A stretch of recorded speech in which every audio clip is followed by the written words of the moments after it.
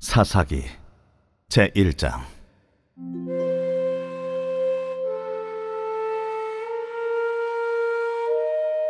여호수아가 죽은 후에 이스라엘 자손이 여호와께 여쭈어 이르되 우리 가운데 누가 먼저 올라가서 가나안 족속과 싸우리이까? 여호와께서 이르시되 유다가 올라갈지니라. 보라 내가 이 땅을 그의 손에 넘겨 주었노라 유다가 그의 형제 시므온에게 이르되 내가 제비 뽑아 얻은 땅에 나와 함께 올라가서 가나안 족속과 싸우자. 그리하면 나도 네가 제비 뽑아 얻은 땅에 함께 가리라. 이에 시므온이 그와 함께 가니라 유다가 올라가매 여호와께서 가나안 족속과 브리스 족속을 그들의 손에 넘겨 주시니 그들이 베섹에서 만 명을 죽이고 또 베섹에서 아도니 베섹을 만나 그와 싸워서 가나안 족속과 브리스 족속을 죽이니. 아도니 베섹이 도망하는지라 그를 쫓아가서 잡아 그의 엄지 손가락과 엄지 발가락을 자르매.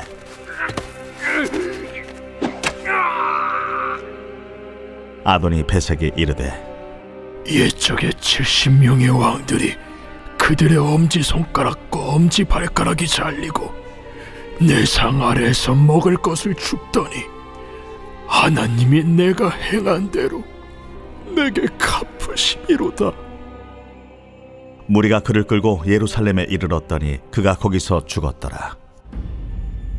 유다 자손이 예루살렘을 쳐서 점령하여 칼날로 치고 그 성을 불살랐으며 그 후에 유다 자손이 내려가서 산지와 남방과 평지에 거주하는 가나안 족속과 싸웠고 유다가 또 가서 헤브론에 거주하는 가나안 족속을 쳐서 세세와 아히만과 달메를 죽였더라. 헤브론의 본 이름은 기리앗 아르바였더라. 거기서 나아가서 드빌의 주민들을 쳤으니 드빌의 본 이름은 기리앗 세벨이라. 갈렙이 말하기를 기랴 세벨을 쳐서 그것을 점령하는 자에게는 내 딸 락사를 아내로 주리라. 갈렙의 아우 그나스의 아들인 온니엘이 그것을 점령하였으므로 갈렙이 그의 딸 악사를 그에게 아내로 주었더라. 악사가 출가할 때에 그에게 청하여 자기 아버지에게 밭을 구하자 하고 나귀에서 내림에 갈렙이 묻되 내가 무엇을 원하느냐? 내게 복을 주소서. 아버지께서 나를 남방으로 보내시니 샘물도 내게 주소서. 함에 갈렙이 윗샘과 아랫샘을 그에게 주었더라. 모세 장인은 겐 사람이라 그의 자손이 유다 자손과 함께 종려나무 성읍에서 올라가서 아란 남방의 유다 황무지에 이르러 그 백성 중에 거주하니라. 유다가 그의 형제 시므온과 함께 가서 스밧에 거주하는 가나안 족속을 쳐서 그곳을 진멸하였으므로 그 성읍의 이름을 호르마라 하니라. 유다가 또 가사 및 그 지역과 아스글론 및 그 지역과 에그론 및 그 지역을 점령하였고 여호와께서 유다와 함께 계셨으므로 그가 산지 주민을 쫓아내었으나 골짜기의 주민들은 철병거가 있으므로 그들을 쫓아내지 못하였으며 그들이 모세가 명령한 대로 헤브론을 갈렙에게 주었더니 그가 거기서 안악의 세 아들을 쫓아내었고 베냐민 자손은 예루살렘에 거주하는 여부스 족속을 쫓아내지 못하였으므로 여부스 족속이 베냐민 자손과 함께 오늘까지 예루살렘에 거주하니라. 요셉 가문도 베델을 치러 올라가니 여호와께서 그와 함께 하시니라. 요셉 가문이 베델을 정탐하게 하였는데 그 성읍의 본 이름은 루스라. 정탐꾼들이 그 성읍에서 한 사람이 나오는 것을 보고 그에게 이르되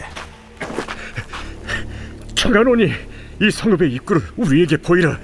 그리하면 우리가 내게 선대하리라.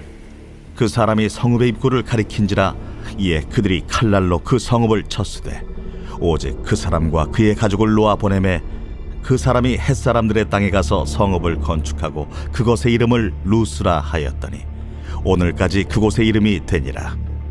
문하세가 베스안과 그에 딸린 마을들의 주민과 다안악과 그에 딸린 마을들의 주민과 돌과 그에 딸린 마을들의 주민과 이블라함과 그에 딸린 마을들의 주민과 무기토와 그에 딸린 마을들의 주민들을 쫓아내지 못하며 가나안 족속이 결심하고 그 땅에 거주하였더니 이스라엘이 강성한 후에야 가나안 족속에게 노역을 시켰고 다 쫓아내지 아니하였더라.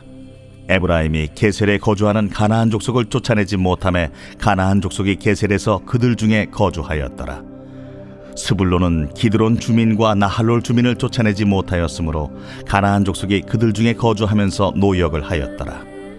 아셀이 악고 주민과 시돈 주민과 알랍과 악십과 헬바와 아빅과 르홉 주민을 쫓아내지 못하고 아셀 족속이 그 땅의 주민 가나안 족속 가운데 거주하였으니 이는 그들을 쫓아내지 못함이었더라. 납달리는 벧세메스 주민과 벧아낫 주민을 쫓아내지 못하고 그 땅의 주민 가나안 족속 가운데 거주하였으나 벧세메스와 벧아낫 주민들이 그들에게 노역을 하였더라. 아모리 족속이 단 자손을 산지로 몰아넣고 골짜기에 내려오기를 용납하지 아니하였으며 결심하고 헤레스 산과 아얄론과 사알빔에 거주하였더니 요셉의 가문의 힘이 강성하매 아모리 족속이 마침내는 노역을 하였으며 아모리 족속의 경계는 아그라빔 비탈의 바위부터 위쪽이었더라.